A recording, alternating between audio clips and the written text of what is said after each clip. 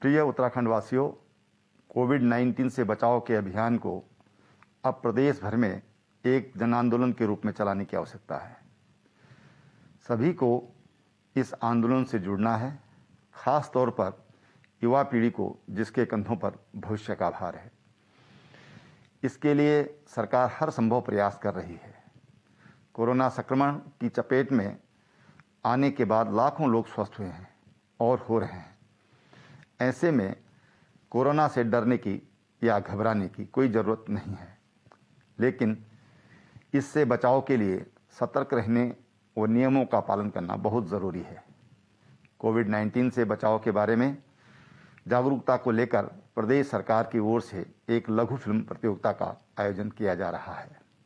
Covid 19 को लेकर जागरूकता और कोविड 19 के वॉरियर विनर तक यह प्रतियोगिता के दो विषय होंगे। इन फ़िल्मों के ज़रिए कोरोना योद्धाओं के समर्पण और त्याग की कहानियाँ लोगों के सामने आएँगी। और इन फ़िल्मों के ज़रिए कोविड 19 से बचाव के तरीकों का प्रचार प्रसार होगा, एवं लोग जागरूक होंगे। वहीं कोरोना संक्रमण के बाद संघर्ष और जीत की कहानियों को भी समाज के सामने लाया जा सकेगा। ये दोनों विषय कोविड 19 से बचाव के जन जागरण में अहम भूमिका निभाएँगे और समाज के लिए प्रेरणादायी साबित होंगे। प्रतियोगिता के परिणाम, फ़िल्म की गुणवत्ता, रचनात्मकता, कलात्मकता के साथ ही उसमें निहित जागरूकता संदेश के आधार पर तय किए जाएँगे। लघु फ़िल्म की समयावधि 30 से 60 सेकंड तक होगी।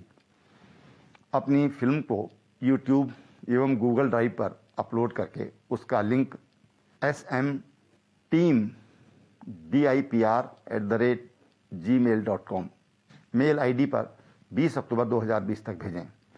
अधिक जानकारी के लिए कॉल करें eight two eight seven two five zero two four three या मेल करें। प्रतियोगिता के परिणामों में जन सहभागिता को भी शामिल किया जाएगा। इसके लिए प्रविष्टियों को सोशल मीडिया पर अपलोड किया जाएगा और सोशल मीडिया पर आने वाले लाइक, कमेंट और शेयर भी नतीजों में शामिल किए जाएँगे। तीन सर्वश्रेष्ठ फ़िल्मों में से प्रथम को एक लाख और द्वितीय को पचहत्तर हज़ार तथा तृतीय को पचास हज़ार की राशि पुरस्कार स्वरूप दी जाएगी।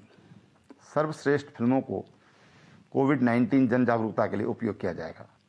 तो फिर देर किस बात की? उक्त विषय पर अपना कला कौशल दिखाकर जन आंदोलन में सहभागी बने और नगद पुरस्कार भी पाएँ।